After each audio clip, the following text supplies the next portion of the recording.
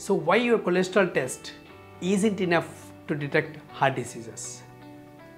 So, most of us think that cholesterol will give or will predict that the risk of getting a heart attack, but it is not true.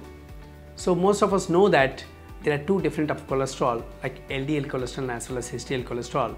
As LDL cholesterol is bad for the heart, you know HDL cholesterol is equally good.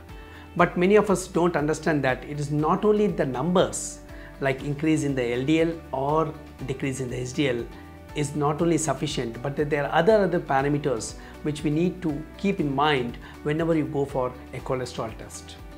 So the first most important is the apolipoprotein B. So many of us if you see the lipid profile apolipoprotein B if you have a higher levels the chance of getting a heart attack is more.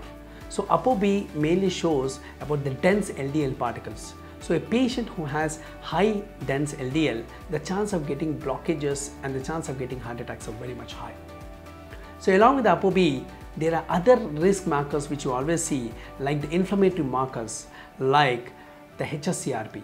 So if a patient who has a high HSCRP, like the CRP levels more than 3, then the risk of getting the blockages or the getting inflammation and getting your cholesterol deposited in the arteries is very much high.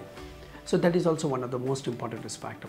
The third one is the genetic risk factor, like the lipoprotein little a.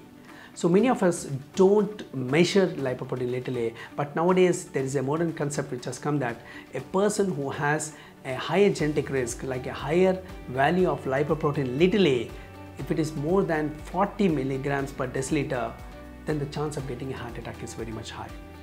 So we don't have medicines to decrease the lipoprotein little a, but definitely if you know that your lipoprotein little a is high, then you can always take some preventive aspect to control it.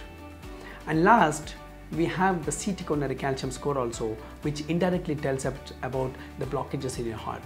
So it is not only the cholesterol, like I said, the LDL, but the dense LDL, the lipoprotein little a, the HSCRP levels, and of course the CT coronary calcium all together gives us a holistic picture of your heart. Thank you.